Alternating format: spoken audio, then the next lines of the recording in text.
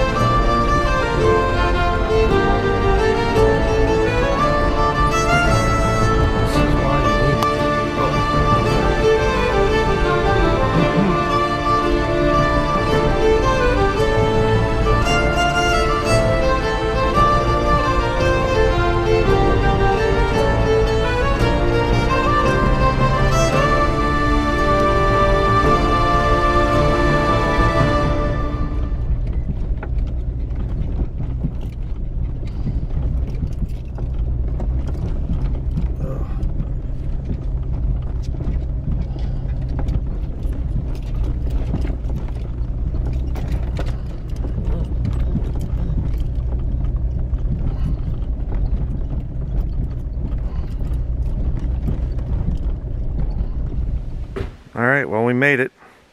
Here. I'm gonna let Luther out. He's gonna come flying out like a rocket, probably. Here we go. There he goes. All right. He gets really excited when we he gets real excited when we go hiking. So should be a good hike, hopefully. All right, we're uh, partway up the mountain. It's I think about 1,800 feet that we have to go up, and uh, you can't really get a good feel for how steep it is up here, but it's it's steep. And uh, didn't figure on I would do a video, much shooting, going up the hill here because panting and wheezing and everything else. uh, but I'm gonna go up here and show you something rather interesting that um, had to be left over from the flood in the days of Noah. I don't see any other possibility for this. Um, but you can tell if you look over this way, we go over here, you can tell through the tree line, you can see a lot of sky over here, which means we're getting above the tree line. So we're heading up the peak right now. of this uh, Sugarloaf Mountain. Yeah, it's kind of weird though. I mean, looking all around me here, and maybe it's brown sugar, I don't know. I don't see any white sugar up here. So how can it be Sugarloaf Mountain if there's no sugar? Hmm. Actually, there is sugar. That's not, uh, I wasn't being entirely accurate here. Uh, yeah, right here. This is the sugar on Sugarloaf Mountain. So that's a tree. No, actually it's a sugar maple. Acer saccharum if you want the Latin. And right there you can tap that and you can get sugar. See? There's your Sugarloaf Mountain. There's a lot of maples up in here. But I have to show you this quite impressive landmark up here. Ah. Here we are. Look at this. Now how did these, whoop, lots of sunlight. How these big rocks get up here? Hmm. If the uh, earth is uh, billions of years old and the mountains were a process of slow trees dying and building up and trees dying and building up and lots of sediment and everything else, then how did these rocks get here? Hmm. Well, the Bible says that there was a flood in the days of Noah and that uh, the whole earth, even the highest point, including this mountain, would have been covered in water. And uh, those little rocks would have been like little ping pong balls in a in a giant swimming pool or a giant lake or something or the ocean. Um, so that's how they got here. Evidence of the flood. See if it's millions and billions of years of sediment laying down on top of it you wouldn't have these giant rocks like this one another big one right there right there. Fascinating. Uh, the earth is not billions of years old. The earth is a few thousand years old. Definitely uh, an interesting thing. And uh, it wasn't some kind of a, the flood in the days of Noah was not some sort of a bad weather event. And God warned Noah about it. No. Um, God destroyed the world because of the wickedness of man. So, but, uh, and I'm sure the evolutionary goofballs have some kind of an explanation. They spend their time in nothing else but to come up with explanations to explain away the existence of God. When the Bible plainly says in the book of Romans, chapter 1, that uh, the invisible things of the creation of the world are clearly seen, being understood by the things that are made, even his eternal power and Godhead, so that they are without excuse. I quote that verse a lot because it's very important. I'll show you some more rocks here as we continue up the trail. Oh, very interesting. See, boys and girls, uh, the reality is that we are the product of billions of years of death and suffering. And these aren't actually rocks. No, these are actually um, single cell amoebas, amoebas, amoeba, amoebas, bacteria, and simple life. And they formed, they all died by the, just billions and billions of them. They died and they, and they compressed and they formed into rocks. And they just more death. Death and destruction is the savior of evolution. And then they have the nerve to say to attack god. Because god does things that they don't understand. Funny how that works. So but uh, down there at my feet. You can see the bluebell lily. I think it's called bluebell lily yeah. Um, leveling off a little bit now. So I can catch my breath again. I'll tell you what, there's a lot of trees that came down. And you can see where the guy saws them with a chainsaw right over there. Can't point to it right there. got to be uh, in pretty good shape to carry a chainsaw up that. so my hat's off to you, whoever you are that keeps the trail cleared. Um, pretty impressive. So I decided I wasn't going to film a whole lot walking in, you know, get till we get to the top of the mountain. Uh, but I had to just pull the camera out for that back there. So I'll be back with you here when we get to the top. Well, we're not at the top yet, but we're, I think, getting closer. The rocks are getting bigger and uh, it's getting very steep. So, uh, very good workout this morning. Man, I feel like a Christian in the Pilgrim's Progress. Or uh, there's a little book that you can get, Dangerous Journey. And um, some really neat art in it. And I'll let you see what I'm coming up here. Climbing up this stuff here now. And um, now it gets tricky. But I remember the one thing where he goes up the hill difficulty and he says about how that he went from walking or maybe running to walking and then from walking to crawling crawling to climbing. And it's kind of a yeah we're kind of sort of getting there now. Um, you can see here the trail ahead of me. Um, probably should not try to take video and climb here. Probably gonna you know what, I'm gonna have to shut the camera down. There's no way I'm getting up this with just one hand and a camera. So, be back with you here in a little bit. All right, we're getting up there. I can see out through the trees, I can see the tops of other hills below us. And uh, there's the trail heading down that way. Uh, let me go over here. I just saw a little bit of a pleasant thing here.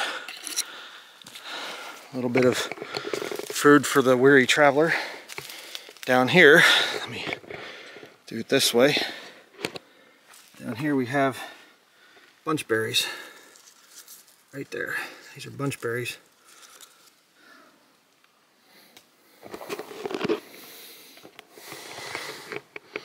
So,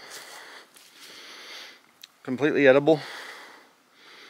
They're not uh, not like a strawberry or blueberry or something, but it's gives you some moisture in your mouth. So, continuing on. More big rocks here to the side.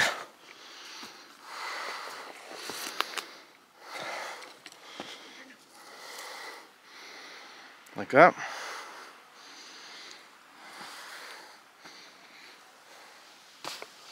Little seed there and thing. I don't remember if it's safe to eat that or not, but all right, we're almost at the pinnacle here, I can see. So I guess I'll just continue. Uh, definitely a good hike. No question about that. Oh, wow. Oh boy, do I have a scene for you. Whew. Man. Let me get over here so you can see this. This is amazing. Luther, get away from the edge. Got some blueberries. Good, praise the Lord. Look at that.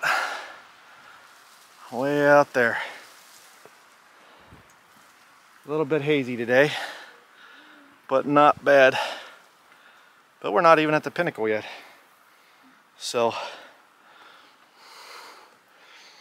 but um, you can see down off the edge there, goes down pretty steep. The big mountain over there that you see over that way. See if I can point to it right there. That one is uh, that's Mount Katahdin. I can recognize that mountain. I know that one well. Mount Chase, I think, is over here. Um, but, uh, you know, a lot of people, they'll say, well, you know, how did you get to move out to a place like that? Uh, by doing it. That's how we moved out here. Making a decision. Here's a wild blueberry. Let me get that. Little wild blueberry. Very difficult to see it. Come on. Oh well, right there. Thank you, Lord. So, pretty, pretty amazing seeing all of that. Looking out there, you can see some clearings and some lakes and whatnot. Very neat. Someday we're going to be climbing Mount Katahdin. Just difficult because you can't take dogs back there, so I have to figure out what to do with our dog Luther for a whole day. Build an outdoor pen for him or kennel or something. But someday we'll do it. We did climb Mount Chase over there, which is actually higher than this mountain. And um, I did a couple sermons from the top of Mount Chase. And um, that was years ago when Oliver was three years old. Climbed it. So, but now we have even steeper rocks going up, so I definitely need to shut it down and and uh, put it in my pack here, my bag. So we'll be back with you here in a little bit. Here's the little brass marker at the very top. Here's my feet.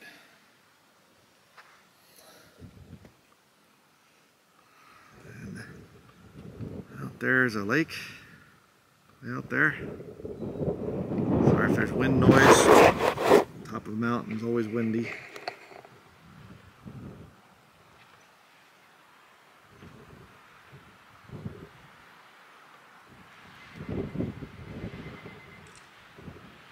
Over here's all the different mountains. Again, way over there is Mount Katahdin, tallest mountain in Maine. Very beautiful up here. All right, I'm gonna walk around a little bit up here. Walk from rock to rock. I always liked walking around on top of mountains. And uh, I remember people years ago said that I just use green screens. I don't actually go outside, so keep that in mind. All right, this is all just a green screen up here. I'm not actually on top of a mountain. Um, it's all fake. Just a special effects studio that I, you know, spent millions of dollars on, okay? yeah, doesn't make sense, but when have people made sense that have hated this ministry? Not very often. But um, I guess I'm just going to stick with this video here and uh, just kind of as a way to show all of this because it's really beautiful but I'll bring up some subjects in another video. Okay. Try not to slip here. Always challenging when you have a camera on. But I can do another video over here, I think. But just love to get out here in God's creation like this and see everything. And down there's a river flowing. See if I can show this.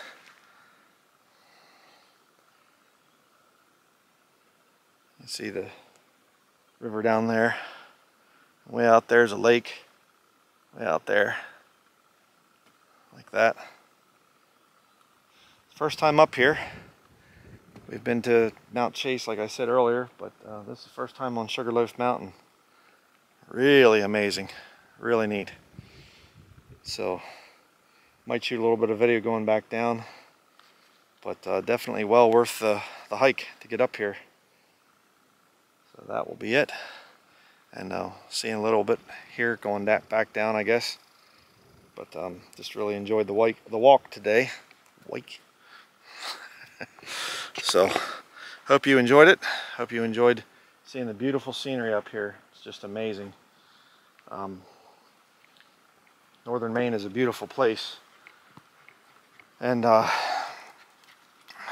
come out here and you remember how God is in control of things. And you don't have to worry about uh, all the sins and everything else of this world, how man messes things up. Thankfully, nobody's messed this up yet. This is an untouched area, uh, except for the trail. I enjoyed the trail though, so. But you know, we could work our way up here without a trail. So, that will be it. Like I said, I'll see you later as we're going back down. All right, heading back down the trail here. As the sun's coming up, I'm not even sure what time it is. Let me check real quick. Get my watch out. It is quarter till nine. And um, heading back down to the Jeep. I have to drive out of here. Noticing some, yeah, this is big tree right here is a hemlock eastern hemlock. Years ago they had down in Pennsylvania they had a woolly adelgid bug that was really killing the hemlocks. It's a shame because hemlock, eastern hemlock is a very good wood. A lot of the old timber framers used it for big beams and houses and barns and things. So, but uh, what an amazing hike. I'm still very much blown away by those, the scenery up on top absolutely beautiful. Really neat to see. So, the interesting thing about hiking like this, you use your legs to get up to the top and take some energy. And on the way back down, your knees get a little shaky sometimes. we do a lot of hiking, but you know, we're not perfect. Hey, ah, little junco there little gray and white bird. It's called a junco. He's just right there trying to keep his attention, but I guess he didn't want to be around me. So, um, I just want to say a few things here as I'm hiking down the trail. Some important things for you to remember out there. Um, and that is that uh, if you are wondering about any kind of study that I've done, have you ever done a study on this or that or whatever it would be, whatever questions you might have, um, you can go to my channel, the main channel page, to the search thing there, and you can type in a search. Something about, you know, you hear something stupid like the Apostle Paul was a false prophet or something, and you can go and you can type that in. You know, Paul, false apostle, or something like that, just some keywords, and that will get you to the study. Ugh have to get down that kind of a rocky thing there. Um, I'll go as long as I can here um, with this, but, um, I think a lot of people don't seem to use the search thing on my channel. Some of you do, but I know some people aren't, maybe aren't real tech savvy or whatever, and they, they just, I'm not sure how to find other studies.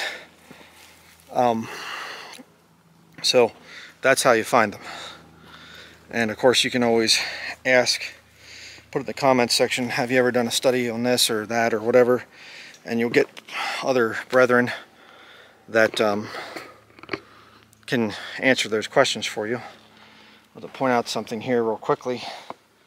Um, you can see here that these rocks are layers. Now if this rock here, this mountain, formed by you know, millions and billions of years of evolution, slow evolution, building up sediments, then why are these rock layers going that way? Not, they're not uh, horizontal, in other words, is what I'm saying. Um, kind of odd. How does the ground stack up like this? You know, this way, when the mountain's going this way. Hmm. Almost as if there was a a lot of mud and things piled up and then it shifted and moved over and things during the flood in the days of Noah. Yeah, almost. Uh, we don't have any proof that the Bible's real. It's just an old Stone Age book and whatever else. Uh, you don't have proof because you're not looking for it. You're going out and you're looking for ways to disprove the Bible. And you can certainly look to organized religion to prove that the Bible is to try to attack the Bible. That doesn't really prove the Bible's wrong because organized religion is condemned by Scripture. so, uh, try to get through to people. Um, do what I can to get out there and get the gospel to people in unique ways, ways that people are not familiar with. A tricky thing going down these rocks. Ah, just have to kind of hold on to trees as you're going down through. That's what makes it fun. If it was easy, there'd be too many people out here, and I wouldn't want to come here. Let's just say it that way. Whoa. So, I know a lot of you concern yourself with my uh, whether or not I'm in shape or whatever else. And uh, do you ever do, what kind of exercise do you do and whatever? Do you stay in good shape while you're looking at it? Just one of the many things that we do. Um, Off-grid homesteading. Uh, I do a lot of that stuff. Hauling a lot of water jugs. Coming out here, and i am wearing a lot of weight right now, by the way, too. Um, I'll say it this way. Uh, three different ways to defend myself. And, uh, you know, seed dispensers and quite a few uh, freedom seeds as well. if you know what I'm saying there. So, I'm not just coming out here without any weight and whatever else. This is an interesting little obstacle here. Have some roots of this big tree to walk through. Pretty neat looking.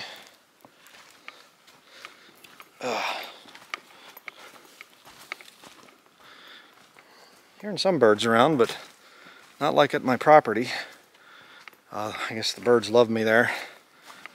Um, more so than here, I guess. But uh, really beautiful out here today. Noticing a lot of hemlock trees actually areas like this, they can be protected many times. So there's some, still some, yeah, looks like that's another hemlock, eastern hemlock there, big tree. Um, but a lot of the forests up here are fir, Douglas fir and spruce, different types of spruce, but uh, it's nice to see a hemlock forest. And they all smell really wonderful. Um, you just want to breathe in, you know, get some more uh, stuff here, to, or more fresh air. There's a bird on the trail.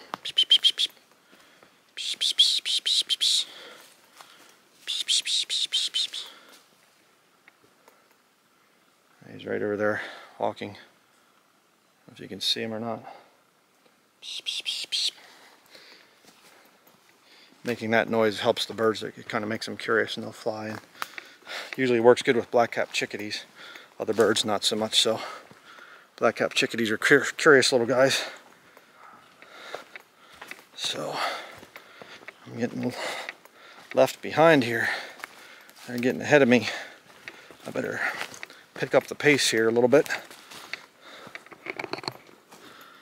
Um, but you know, I want to make a, another mention of something here. Uh, I'm not sure if I'm going to do anything else with this whole Trump uh, situation, the assassination attempt, and all of that.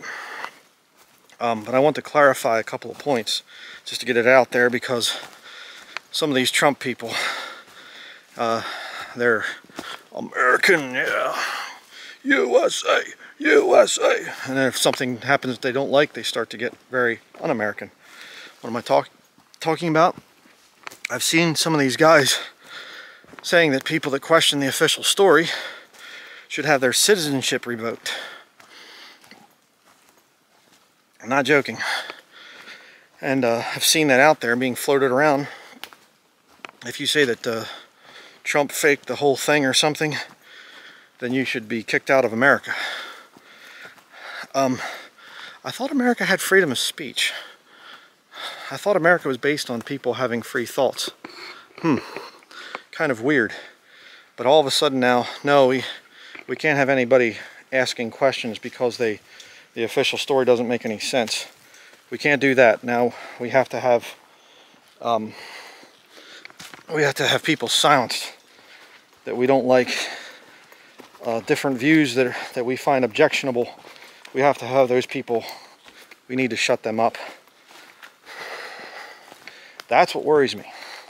And again, you know, uh, I've had people, they say, I say, I think that the thing was faked. They say, oh, I guess the people, what about the people who were injured and the guy that died in the crowd? I didn't say it was all faked. What I'm saying is the thing of Trump just from a scientific, logical perspective, how do you have a bullet go through the guy's ear and do no other damage? Just hit the ear. The odds of that happening are so slim as to be absurd. And if that's all that went wrong with the whole story, well, you know, you could kind of make excuses for it. But the fact is that it wasn't just that. You have all the security failures why did the Secret Service intentionally let the thing happen? And that's what it was. The, and, and the police. Why?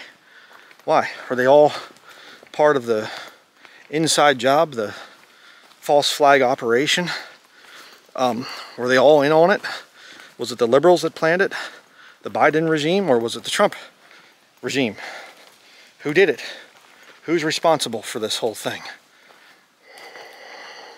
Asking questions you know, there's obviously something going on. You don't just have this situation where the shooter's just walking around with a rangefinder for a while and, hey, you know, we'll check him out and we'll just keep an eye on this guy, don't worry. And then, you know, uh, he's up crawling up on top of the roof and they say, oh, there's a bad guy up there on top of the roof. And a police officer goes over and starts to climb the ladder and, you know, and, oh, uh, he pointed a gun at me so I had to come back down again. You know, I mean, the whole thing, I guess technically it's possible because of how politically correct people are in this country. Technically, I guess it could have happened the way that the media is kind of reporting it. But it just leaves a lot of questions that are unanswered for me. You know, so just to clear it up, I have never said that nobody was shot and that there were no real bullets fired. I didn't say that. I just simply said the ballistics of a 5.56 round being shot at 130 yards, going straight through a guy's ear um, because he turned his head a certain way and whatever else. Um, uh, I have questions. I have questions about that. Now, the spiritual realm could certainly pull off things like that. Certainly. There could be some scheming going on behind the scenes, so to speak, with the spiritual realm. I don't doubt that. I don't question that. But um, physically, to plan that thing, that kind of an operation, and oh, it was just a, it was a shot that the guy took, but he missed. He messed up. Well, um, I don't know. I don't know. I have questions. Um, and that's okay. I should be asking questions. People should be allowed to think about the whole thing and say, hey, yeah, there's some weird things, some questions I have that are not being answered and whatever. But um, another thing I want to talk about is one of my recent videos I compared um, Trump and his followers basically to the Nazi party. Now, that's something, oh, that the liberal news media, they keep doing this and they're demonizing Trump. Well, um, again, is it people, you know, you're going to cause a, a violent reaction or something by demonizing somebody? Uh, well, um, I understand some of that, but you have to, again, you have to be careful of that. Um, the reason I am saying that there's a danger there with this radical Trump stuff is because you have people that are saying, you know, anybody that questions the official story should be deported. Well, see, that's dangerous. That's very dangerous. It should not be that way. You should be allowed to question and say, hey, you know what? There's some things here that I don't know about and I'd like to have some answers. And when you have people that just are, no, you know, and they're waving their flags and they're, they're not even thinking, you know, they're not even asking the questions. Hey, you know what? Is Donald Trump really a friend of America? Has this guy really helped America? You know, he's going to make America great again. How? How's he going to do that? Is he going to bring in more printing of money, thereby hyperinflating our currency? Um, you know, oh boy, we can just barely afford to live and whatever else. It's all Biden's fault. Uh, it's not Biden's fault. Biden is not, I mean, he just continued the program, but uh, it was Trump that did quantitative easing during 2020. It was Trump that locked people into their homes. Trump that shut down businesses. Um, it was the Trump regime with all of his little Jesuit buddies like Fauci and Redfield and um, Bannon and and uh, Trump's two sons are both Jesuit educated. Trump is Jesuit educated. And these guys, um, they were all the ones that were taking away our freedoms. So, oh, you know, we have to bring Trump back in. Uh, you know, what other choice do we have? Well, we weren't given another choice. That's the whole point. That's why America's in serious trouble. Because we were not given other choices. We were just told, here's what you're going to have. Period. Um, again, like I was doing my one video up top there, the thing of the rule of law. Um, there needs to be laws. There needs to be, you know, we didn't have that many problems back when both Republicans and Democrats followed the law, when they respected the law and upheld the law. But then it became this thing of let's uh, be bought out by corporations, Big Pharma being one of them, and um, we'll, we're for sale to the highest bidder. And we'll sell American politics. And you can donate, and, and I'll make sure that you get your, uh, your agenda through if you donate enough money to my campaign.